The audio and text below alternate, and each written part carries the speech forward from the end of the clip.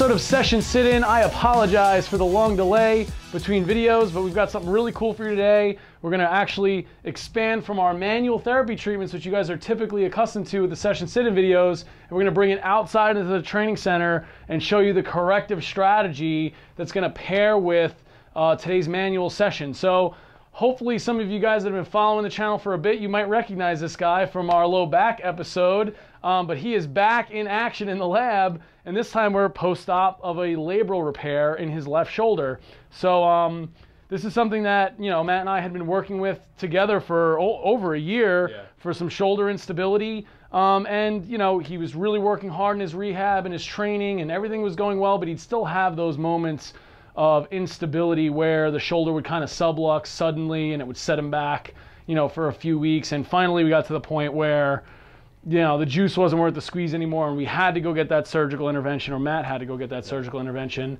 Um, so you want to explain a little bit more about what we did, sur- what you did surgically, and where we're at now? Yeah, I mean the MRI spoke for itself. Yeah, Like I yeah. put that off for as long as we can. Right. And once it, it revealed like a pretty significant labral tear, it was technically a slap, but it was mostly posteriorly, and Yeah. it just was one of those things that it needed surgery to be corrected. Right. Otherwise, the rehab wasn't really gonna work enough. So. But you know, I will say that I, I do believe, and I think you know you can confirm this. But all that work that was put in prior to the surgery led to a much better surgical outcome. So we're eight weeks post-op, Yeah. and this is like the fastest rehab that I've ever been a part of. I think you know he's moved along every step of the way. You know, we were on top of treatment right from the jump. Uh, we had our plan that we were going to do post-op going into the surgery. So again, for those of you out there who might be dealing with some shoulder stuff and you're contemplating surgery, do the physical therapy first, do the rehab or the prehab first. Get yourself as strong as you can and as stable as you can before you go under the knife, and then the proof's in the pudding.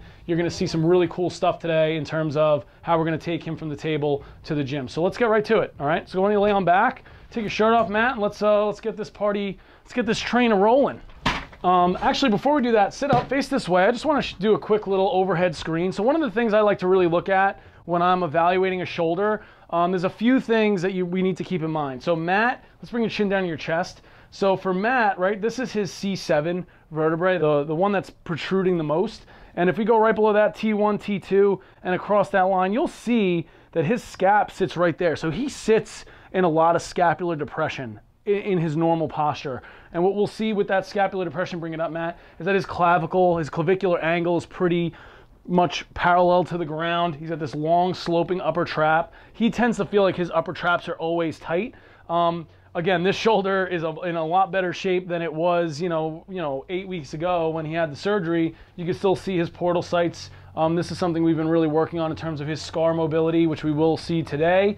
Um, but he also tended to have a lot of anterior scapular tilt, and that kind of created that, you know, uh, postural issue where he was getting some rotator cuff impingement type symptoms, you know, getting some bicep, referred pain down into his bicep. So these are all things that we've been addressing from a scapular perspective while we're waiting for that labrum to kind of heal up over the last eight weeks. So yeah, let's see a little overhead movement. Sure.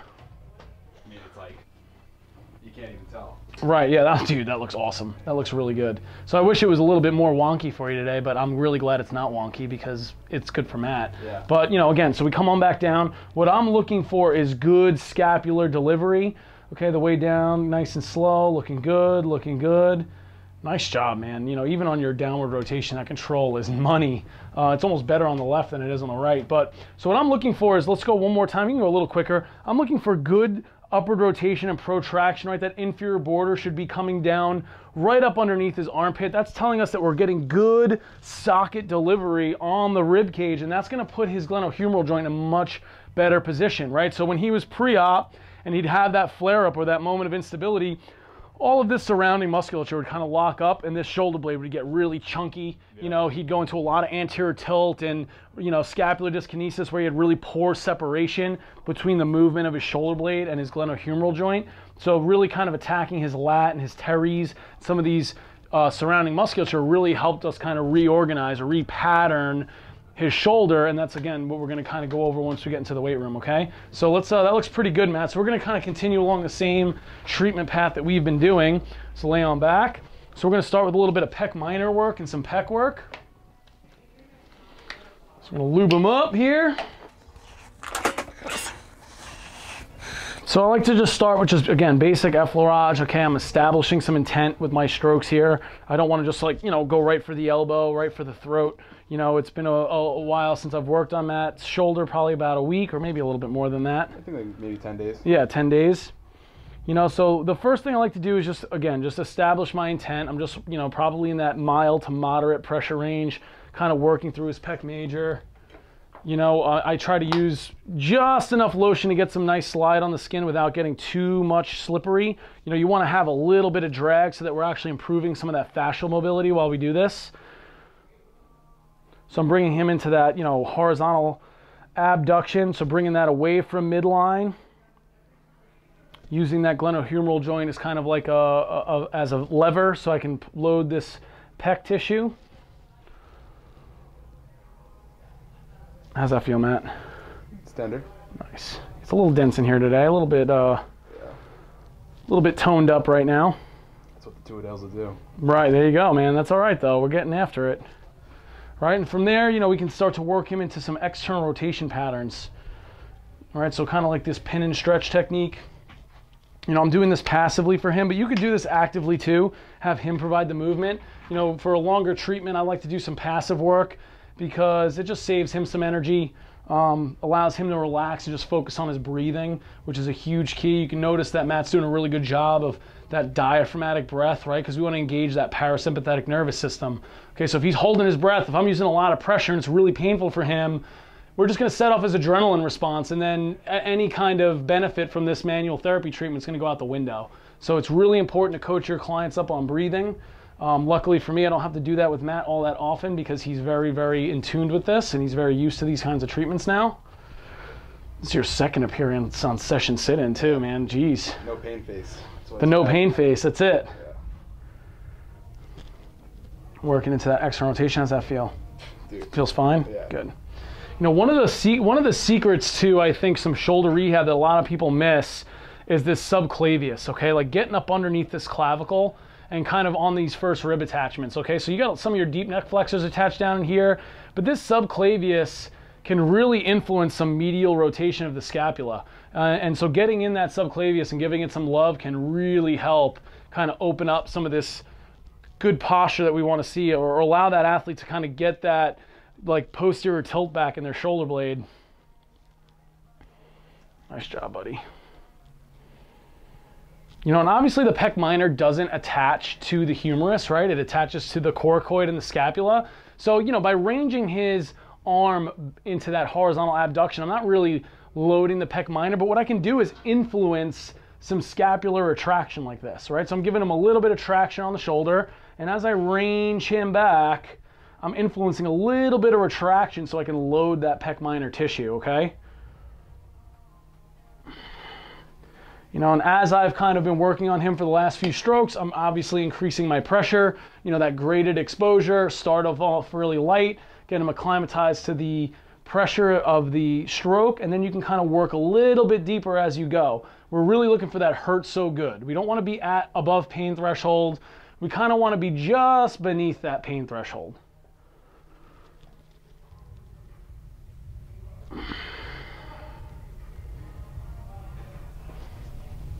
All right, so now we're gonna get into this bicep work, okay? So again, for the same reason I like to address that pec minor subclavius connection, the short head of your bicep also attaches to that coracoid, so it can become a scapular tilter.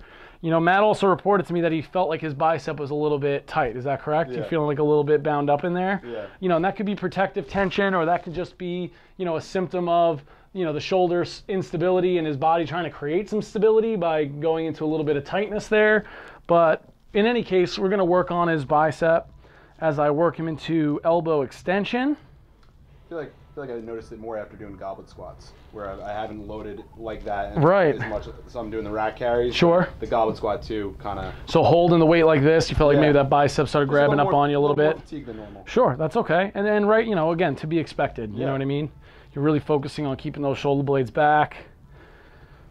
Again, not a tremendous amount of pressure, just kind of like probably if I had to rate my pressure on a scale of 0 to 10, I'm probably in like a 4 or 5 right now.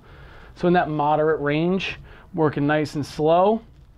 We're trying to talk to those Ruffini nerve endings, right? Those mechanoreceptors in the tissue that can help us tone down that musculature beneath the skin in this area.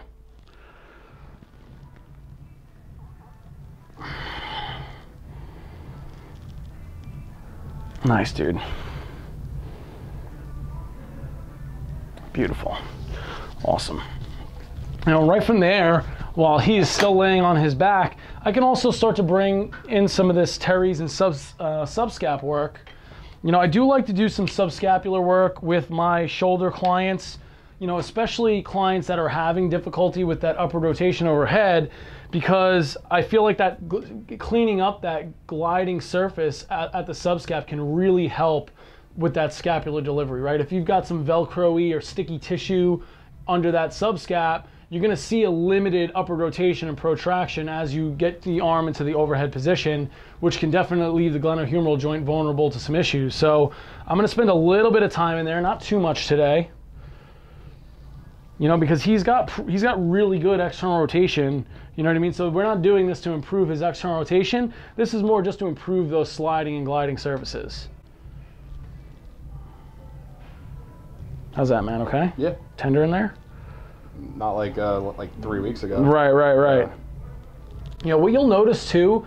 You know this is something I like to do with my post ops relatively quickly. Not that I'm going to go cranking them into external rotation, but keep in mind when when you have a post op shoulder that's been immobilized in this position for weeks, that that's external rotation. All of those internal rotators are going to start to kind of bind up. That fascia is going to start binding up because you're in that position for an extended period of time. So just getting in here, even if you're not going to do the range part, right? So if you can if you can comfortably bring that client into like this position, you can then access that subscapular space and just kind of spend a little bit of time in here. Oh yeah.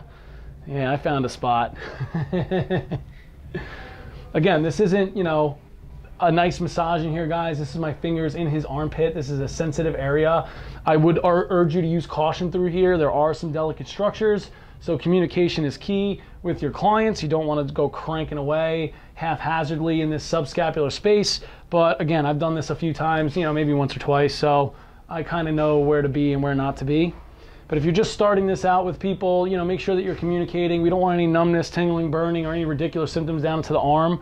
We want to make sure that they're feeling comfy. And if, you know, if it's a little painful, be sure to give them a break. Again, we don't want to set off that adrenaline response.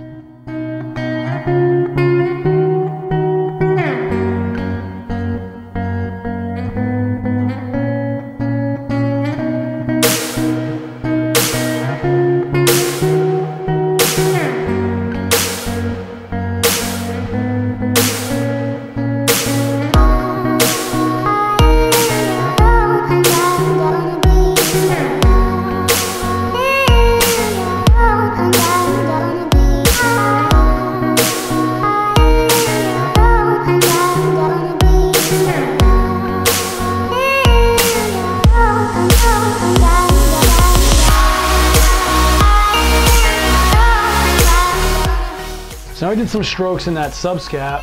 What I'm gonna do now is actually work on some glenohumeral separation by getting up into his teres major. Okay, so we're gonna do is kind of, again, get a little lotion up under here.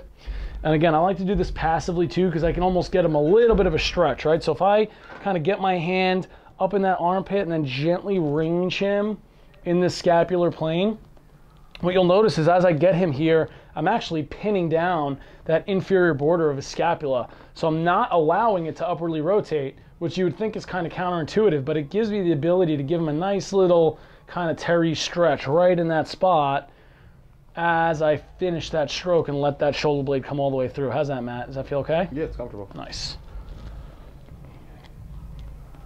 Again, we could work him into an active technique here too, so hold on to that mat, right? And go ahead and range up overhead. So I could use two hands and have him do that, or we can just have him range straight up overhead like this as well. Both are acceptable. I just find that I can control this a little bit better and take my time, and it allows him to relax.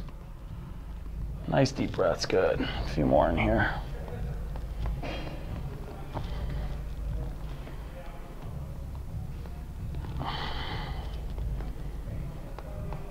Beautiful. Okay. So now that we've done that, while he's still laying on his back, I'm gonna actually grab my instrument. All right, this is the rock blade. Uh, this is the mullet. Okay, so this is a stainless steel instrument, medical grade. And what I'm gonna do is use this tool to kind of down regulate his pec by working deep and slow with it. Okay, so I'm not gonna go like crazy fast. I'm gonna just nice, deep, slow strokes.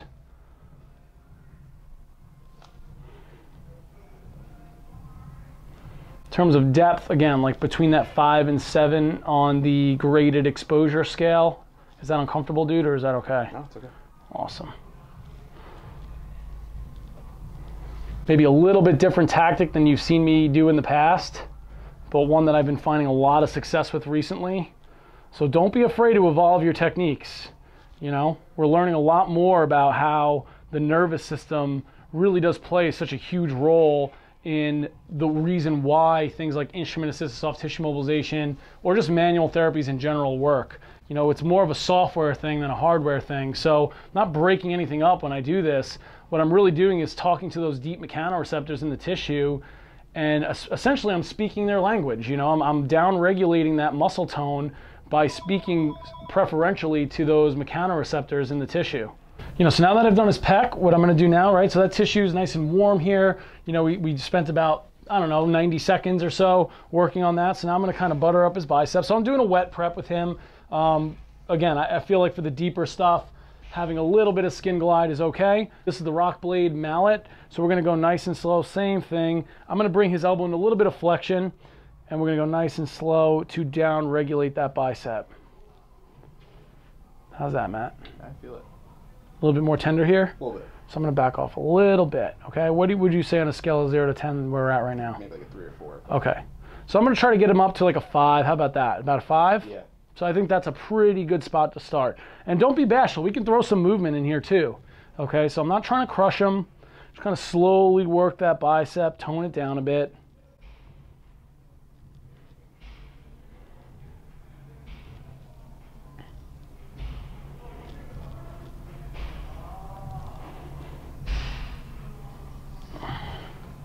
Yeah, just throwing it in. You know, again, just influencing different um, different uh, length tension relationships through the bicep. Yeah. So, you know, I like to throw in some pronation at the end, some supination at the end, just kind of change that vector Yeah. slightly. Kind of gives me a, you know, it's just a novel stimulus for the tissue. So just mixing it up a little bit is just giving your nervous system something new to respond to. Cool. You know, we can spend a little bit of time doing some like light strumming right through his bicep tendon.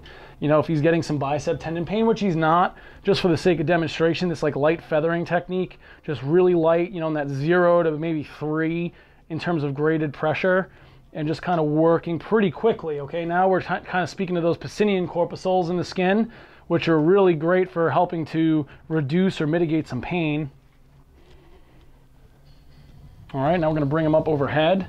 So in fact, while he's on his back still, I'm gonna do some work through his serratus, okay? For the same thing, I wanna just kind of bring some blood flow and some neurosensory input to this area so that stimulate some better activity through the serratus, which is gonna help us with our overhead scapular delivery.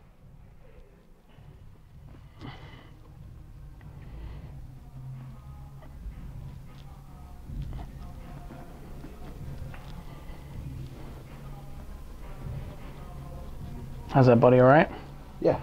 You know, the rib cage area is sensitive, okay? You don't want to go crushing through the rib cage. Um, you know, it can definitely be uncomfortable. So, again, communicating with your client, just working through that serratus. Again, like a 60 to 90 seconds is about that sweet spot. You know, notice I'm holding this thing much like a pencil. You know, I'm not trying to crush him with this tool. You know, I'm not grabbing it like a brass knuckle and having at it. So it's going to be a nice, gentle pressure. Now what I'm gonna have you do, Matt, is lay on your side face that way. Okay, put the tool down. Give him a pillow here. There you go. How's that? It's good. Good? Awesome. Okay, so here's what we're gonna do now, Matt. I wanna start working into some overhead patterning while I work this rever- uh, the rear part of your lat and that teres. Okay, so bring that elbow out straight. And while you're reaching, while you're ranging up overhead, I really want you to reach with that serratus there, okay? And come up all the way overhead, okay? So what I'm gonna do here is kind of, again, get them on both sides. I don't like to use my thumbs a lot, but I'm gonna do this so that you guys can see what I'm doing. Again, reach up, and he's just bringing that tissue through range, and I'm just kind of pinning it, okay? So I'm gonna provide the pressure, he's gonna provide the movement. I'm gonna let him recoil on the way down, and I can feel his infraspinatus and his cuff is a little bit toned up right now. So I'm gonna work on just gently releasing that tissue. Oh yeah. Nice deep breath. Nice job, buddy. Beautiful. You know, normally instead of my thumb, what I really like to do, and I'll show you what I actually do in most of my sessions, is actually use the wipe of my forearm, like my ulna, um, because it's giving me more surface area, and it's also taking some stress off my hands, okay? You don't want to be using and abusing your thumbs and fingers, especially for thick tissue like the lat in this underarm area. So I'm using my forearm, but again, you can see how it's not as easy to see what I'm doing when I do it like this. A couple more. And exhale, good. Reach, reach, reach, beautiful. And I'm taking that stroke all the way down into that lat, okay?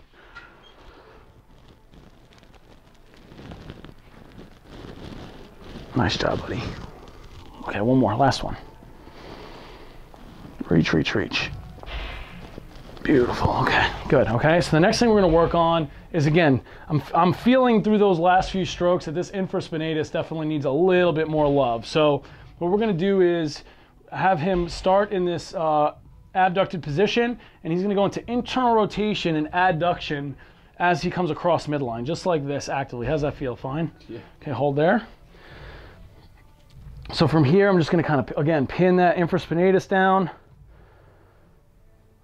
About a five on the, on the out of 10 scale here.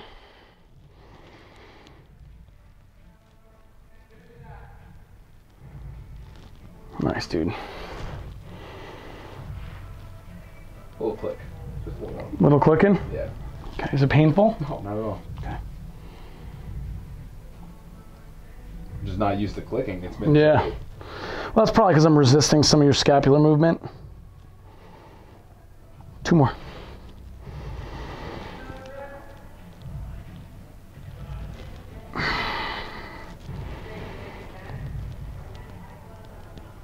All right, so now that we finished doing some of that release work, what I want to do is actually kind of, I want to upregulate that rotator cuff. I want to bring some stimulation to that rotator cuff while he's getting serratus activation. So the way I'm going to do that is use this floss band. So I'm going to give this to Matt and he's going to protract against that band. Okay, this is just giving him some feedback. It's giving him something to push into. And then as he raises up overhead, I'm going to change that vector so that I'm kind of in line with his arm the whole time. So bring it back down, Matt. Again, when on the way back down, I really want you to continue to reach and don't let that shoulder blade just kind of wonk back into place, okay? So I'm going to go back to the, the mullet here and use this convex edge. Go ahead. And I'm just going to gently strum that tissue as you range overhead, okay? How's that feel? It's interesting. And reach forward, reach forward. Is that too challenging for you? I'll back No. off on the pressure. Good. Not at all. It just feels stable. Nice, dude. That's how a feeling it hasn't been in a long time. Yeah. Right, so we're just working through, you know, again, about 60 to 90 seconds. Push, push, push. Reach with that shoulder, reach with that blade. Reach, reach, reach, reach, reach. Again, just novel stimulus to the tissue, okay? He's doing the work, he's doing the patterning. I'm just providing some sensory input to elicit a response from his nervous system, okay? And relax. Good, that's nice, okay? Nice job, buddy. The last thing I want you to sit up face me.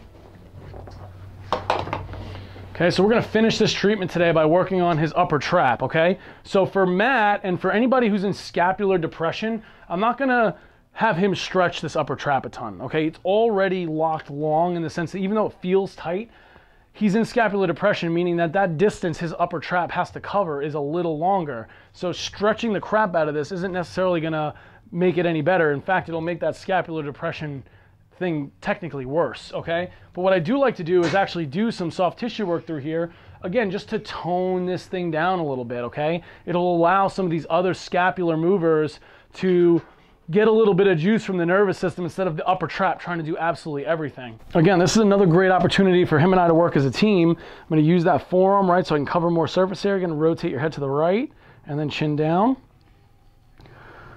and then back up, right? So he's going to kind of, again, go through some range of motion in his neck while I just gently work through that tissue, nice and slow. What you'll notice with my other hand placement too is that I'm not allowing him to go into this crazy medial rotation. Not that he's doing it, but you'll start to see a lot of people as they range through into this thing, they'll drag that backside shoulder with them. So what I'm doing is using my left hand to post him up there to give him some feedback and my right forearm is actually loading the tissue. This allows me to kind of sense, like as he moves his neck, does he get a, a, compensatory movement out of his shoulder as well, which he's not doing right now, which is great.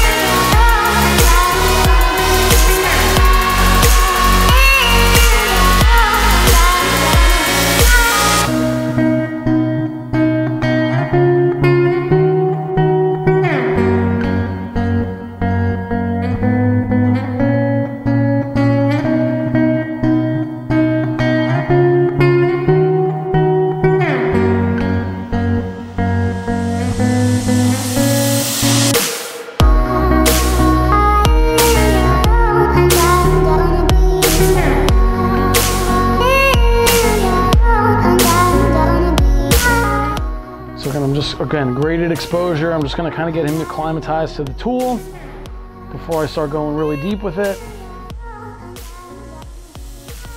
In fact, what I may even do is switch up gears and go back, back to the mullet, which is a little heavier and it's got a nice uh, beveled edge It's a little bit softer as I work some of these deeper strokes.